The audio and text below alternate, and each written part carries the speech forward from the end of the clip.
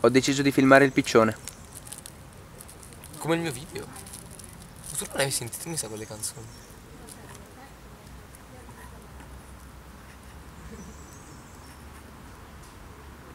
Non dovete fumare, altrimenti diventate come? Beh, bello. Dimmi caro, in che nazione è nata Cenerentola? Italia. No, Eh, eh, eh, Grecia. no, però ci sei arrivato vicino. Egitto. Ma non hanno le fiabe gli egiziani di la fiabe egizia. Certo che ce li hanno le fiabe. Gli egizi avevano le fiabe, ok? E la fiaba di Rodopi è praticamente quella di Cenerentola. Dopo di quella c'è un'altra versione un po' più recente, cinese.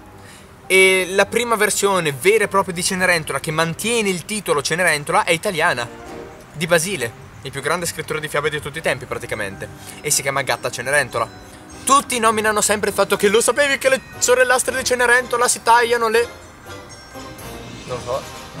Ah, davvero? No, non l'hai so, sentita sta cosa perché è girata tantissimo. No, so. Si tagliano le dita dei piedi per infilarsi il piede nella scarpetta e farcela stare. Molto sadico. Il problema, figliuoli miei, è che non è l'unica cosa che succede di macabro nel corso della storia. Per esempio, nella versione Grimm non è la fatta madrina a dare il vestito a Cenerentola, ma il fantasma di sua madre. Il vestito di Cenerentola è fatto d'oro. Le scarpette non sono di cristallo, sono di pelliccia. Le sorellastre di Cenerentola, alla fine della storia, vengono accecate dagli uccellini di Cenerentola, che gli strappano via gli occhi con gli artigli. Cenerentola uccide la sua prima madrina, anche se Oh. non è del tutto intenzionale. Nella versione originale i balli sono tre e non c'è nessuna regola della mezzanotte. Cenerentola se ne va perché non vuole affrontare il principe, ha paura che scopra le sue umili origini. In più, la poetica scena in cui lei perde la scarpetta, molti si chiedono come fai a perdere la scarpetta. Nell'edizione originale, il principe cosparge le scale di colla. Nonostante ciò, in questo film c'è la scena preferita di Disney, quella della trasformazione del vestito. Di che colore è il vestito di Cenerentola? Azzurro. Sbagliato. Cioè. Il vestito di Cenerentola se lo ricordano tutti azzurro. Ma non è azzurro, è. bianco. È vero? Tutti lo ricordano azzurro perché quando fecero il vestito di Cenerentola sotto forma di costume per Halloween e Carnevale, Era- le mamme non lo volevano comprare perché era bianco, le bambine rotolano nel fango, gli compro il vestito bianco che si sporca subito e poi sembrano delle spose. E quindi decisero di cambiare il colore del vestito in azzurro all'interno del franchise. Quindi le bambole di Cenerentola hanno il vestito azzurro, i puzzle di Cenerentola hanno il vestito azzurro. E nelle edizioni delle videocassette tra gli anni 70 e 80, pure il vestito di Cenerentola era stato cambiato in azzurro. Nella pellicola. Per il ruolo di Cenerentola si presentarono ai provini ben 309 attrici diverse. E quella che venne presa, cioè Eileen Woods, non sapeva di star facendo un provino per Cenerentola. È un classico, eh, c'è un tipo di volte gente che va lì non sa il ruolo e lo prende, tu dici ma perché? Sei così bravo? Cazzo. Venne infatti chiamata dai suoi amici per partecipare a questo provino così per, per forse teatro, non lo so. Lei si presenta, ha le battute da dire, le ripete, presa. Nonostante ciò, questa cosa è triste. Lei, Eileen Woods, invecchiando ebbe l'Alzheimer e si dimentica ogni cosa. E non riuscì a ricordare in alcun modo, in alcun senso di aver mai fatto Cenerentola nel corso della sua vita. E nell'ultimo periodo della sua vita, però, prima di morire, l'unica cosa che la faceva star meglio era, e nemmeno lei sapeva il perché, la canzone di Cenerentola. A dream is a wish your heart made.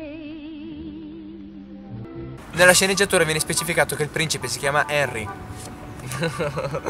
Come ho già detto nel video su Alice nel Paese delle Meraviglie, vennero creati due team rivali, uno che fece Cenerentola e uno che fece Alice nel Paese delle Meraviglie. Disney voleva vedere quale dei due team avrebbe finito per primo il suo film. E quello di Cenerentola era composto soprattutto da giovani, mentre quello di eh, Alice era composto soprattutto da vecchi, nonostante ciò erano abbastanza equilibrate. Vinse Cenerentola, che non solo uscì per primo, ma fu anche il successo più grande. Bello. Nonostante ciò spesero così tanti soldi che se fosse stato un insuccesso, Cenerentola, la Disney avrebbe dovuto chiudere. All'inizio in Cenerentola si pensava di fare in modo che tutti gli animali parlassero. Ma poi ci si è resa conto del fatto che così i personaggi effettivamente diventavano troppi e si decise di non far parlare nessun animale che non fosse un topo. Poi, poi, poi, poi, poi. Nel film Lucifero muore. Il gatto Sì, prende che gatto Lucifero, ma quando alla muore- fine cade dalla torre di Cenerentola e, e- e- e muore. Che tristezza. Era pensato per, per morire così, in modo da anche richiamare la fine della strega di Biancaneve. Ma eh, poi si è reso conto del fatto che era un po' triste far morire il gatto e non la cattiva principale, eccetera. Quindi, in molti franchise, fra cui i sequel, viene fatto vedere che no, è ancora vivo. Però sappiate che l'intenzione iniziale dei registi era, era morire. quella, era la morte. Emma Watson poteva scegliere se fare Belle della Bella e la Bestia o Cenerentola per il film del 2015 e scelse Belle. Identify yourself. Allora, come saprai benissimo, chi è a fare la fata madrina di Cenerentola in quello del 2015? Non l'ho visto quello del 2015. Elena Bonham Carter. Minchia. Minchia, Eh, devo sì. guardare per film. non l'ho visto, però devo guardarlo. Appare poco ma è memorabile. Che ha fatto anche, per la Disney, Per la Disney. La regina? eh, ah, in via Alice in Paese delle Meraviglie. Ha fatto Ha la fatto regina Ali- rossa. esatto, ha fatto la Regina Rossa in Alice in Wonderland. La stessa attrice ha fatto la madrina di Cenerentola e la regina di Alice nel Paese delle Meraviglie. Anche con il classico originale. È la stessa attrice. Quella di prima? Sì, La- nella in quadra d'animazione è la stessa attrice a fare la fata madrina. La, La- regina di Alice, la regina rossa. il vestito di eh, Cenerentola nel film del 2015 è fatto da 10.000 Swarovski. Non è vero, non è vero, ok? Che a Cenerentola sia stata Marilyn Monroe, ok? Non è vero.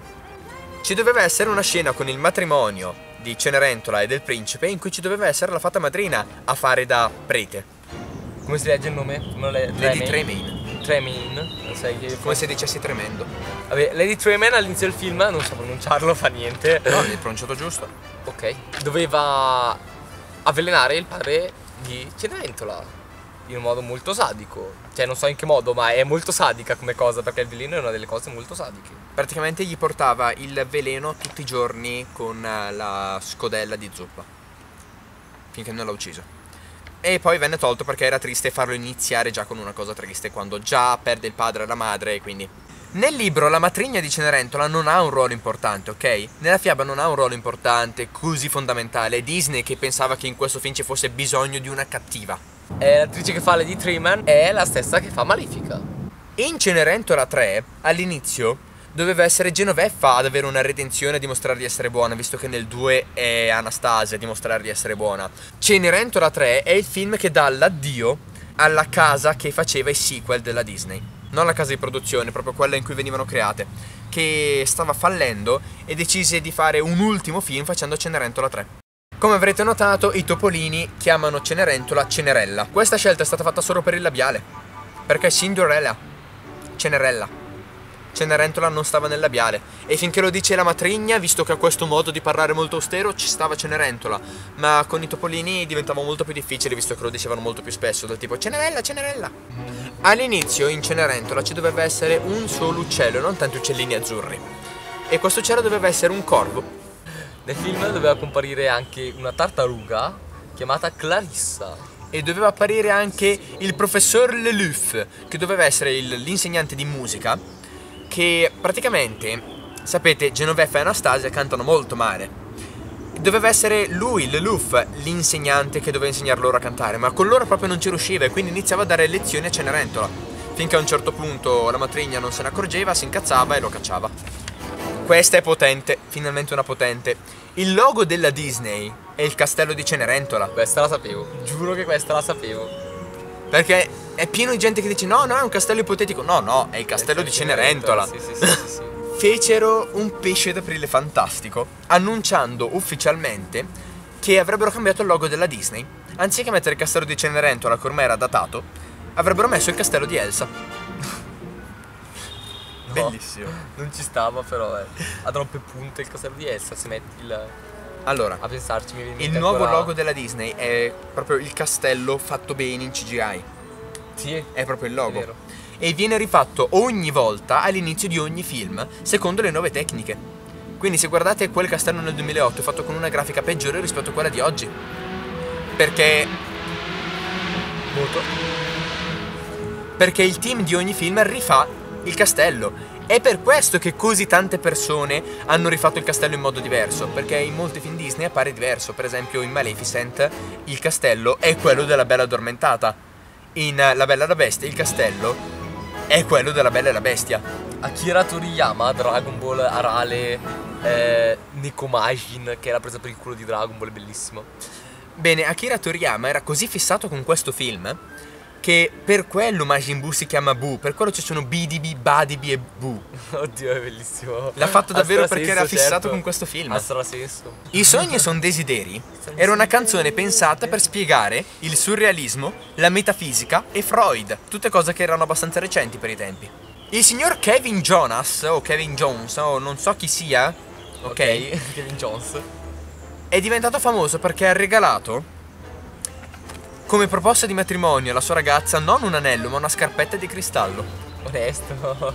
C'è una canzone eliminata chiamata Lavender Blue e in questa canzone la mamma di Cenerentola cantava una sorta di ninna nanna a Cenerentola e venne tagliata ma la canzone è ancora una canzone Disney ed è stata messa in tanto caro al mio cuore con lo stesso titolo e lo stesso testo Lavender Blue Si dice che, anche se non si sa ancora, non si ha ancora certezza di ciò, ma che l'aspetto esteriore della fata madrina sia la moglie di Disney. Per la carrozza, Cenerentola, la zucca, La zucca! prima di trovare quella è stata scelta da Disney ci sono state 100 diverse carrozze, tutte in legno, che però non hanno convinto Disney quanto quella a forma di zucca, che è abbastanza storica in realtà, nel senso.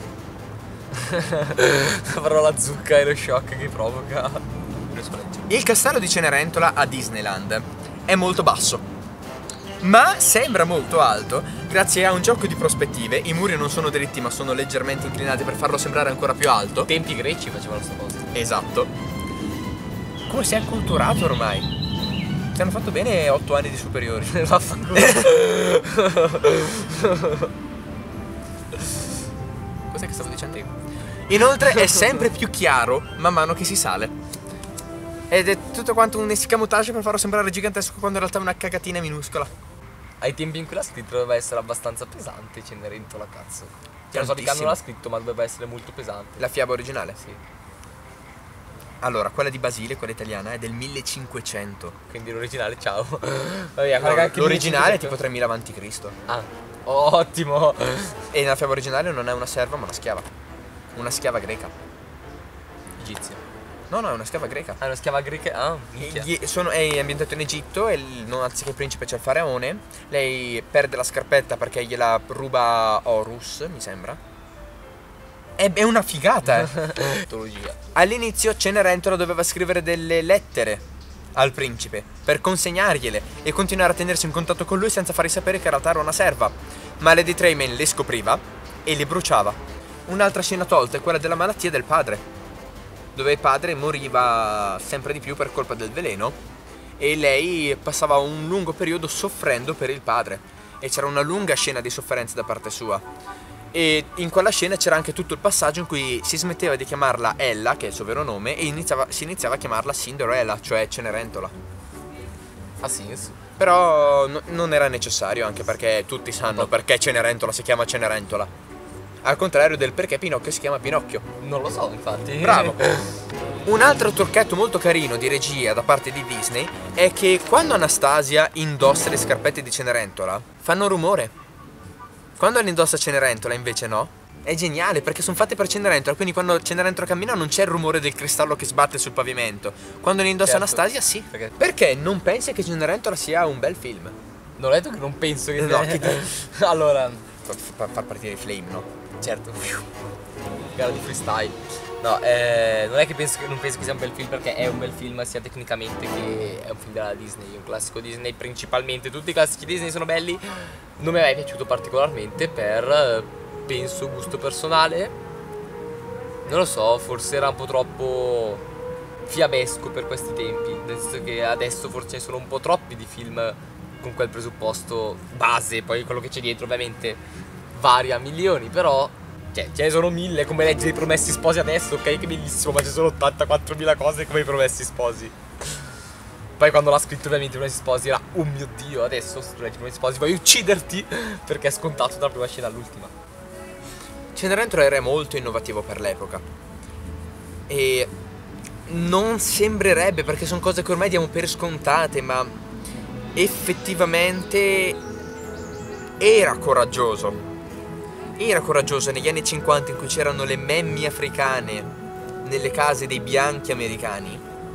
Parlare della serva che eh, Che si emancipava e Beh sì è vero Molti hanno chiesto perché nel finale Cenerentola non tira un bel pugno in faccia a Lady Tremaine, che se lo merita. Due cose. La prima è, stiamo parlando di un pubblico di bambini che poi dovrebbero prendere a pugno in faccia la madre perché gli ha chiesto un favore? Giusto così Secondo, se Cenerentola come personaggio è una che ha subito per eh, decine di anni le angherie della matrigna, com'è possibile che semplicemente perché si sposa improvvisamente non le subisca più e la picchi? Perché non l'ha fatto prima? Non ha senso che solo per accontentare voi nel finale automaticamente le tiri un bel pugno in faccia. Certo che se lo meritava, certo che avrei goduto pure io come un maiale, però non, non sarebbe stato sensato effettivamente, no? E beh, molte persone dicono, eh ma in questo modo le bambine penseranno che sia giusto farsi sfruttare. No! Penseranno che sia giusto evitare di farsi sfruttare senza necessariamente picchiare la persona che ti sfrutta. E devi averti sfruttare dalla base Se farsi sfruttare tutto il tempo consiste nel finire male in questo verso Non farti sfruttare dall'inizio e, e non è esattamente una cosa sbagliata Direi che non è affatto una cosa sbagliata I piccioni! Ah, quello di prima video con i piccioni ti ricordi? No, quello prima non è finito con i piccioni, ho iniziato questo con i piccioni. Ah, hai iniziato questo con i Ho piccioni? iniziato questo con i piccioni. Non c'è un classico Disney che ci sono i piccioni? Certo? Quale? Bolt. L'hai visto? Sì, ma non mi ricordo i piccioni